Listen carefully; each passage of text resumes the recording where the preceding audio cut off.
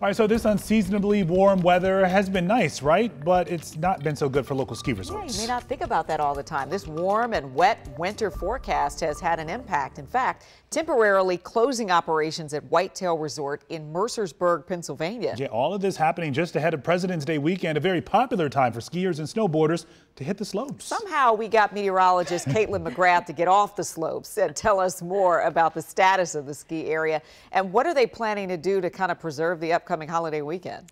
Well, Leslie and Lorenzo, I spoke with a representative with Vail Resorts, which owns Whitetail, and the messaging is that even though the resort is closed for now, it will not be closed for long. They plan to reopen tomorrow morning at 9 a.m., and the staff is gearing up for a brief but efficient snowmaking window tonight.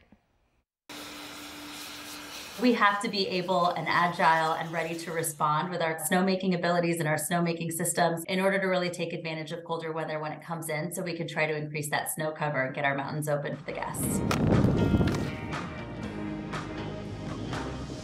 Our record warm winter has been hard on our local ski areas. We received this photo from Whitetail taken just this past Sunday. The resort is banking on the brief cold snap arriving Friday to fire up their recently upgraded snowmaking machines. Vail, which owns Whitetail along with 36 additional resorts in 15 states and three countries, invested $3.6 million into their operations so they could weather snowless winters with protecting the environment and reducing emissions top of mind. We can now make more snow in less time with less energy, which is so important. Because in today's changing climate, man made snow is vital to the future of ski resorts.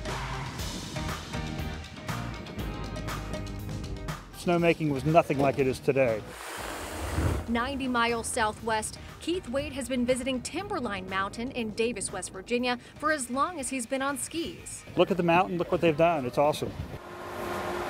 The snow gun technology is getting better and better every year. And so we're embracing a lot of tower mounted fan guns, which bring a ton of efficiency to it and also allows us to make snow at higher temperatures.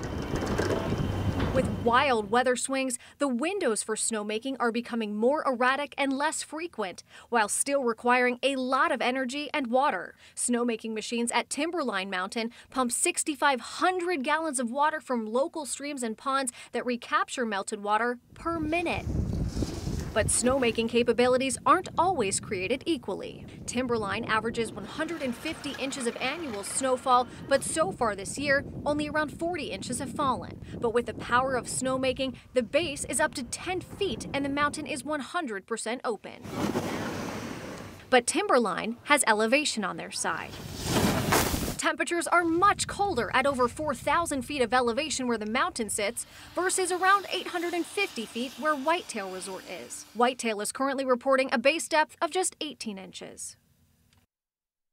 Now, with so many of our local ski areas like Whitetail, Liberty, Round Top, and Seven Springs all falling under the ownership of Vail, when you purchase their season Epic Pass, you gain access to all of the slopes across the country. So on days like yesterday when Whitetail is closed or maybe conditions just aren't that great, you can ski at any of the resorts. And it seems like some people don't mind the, the artificial snow. Yeah, some think it skis a little bit better.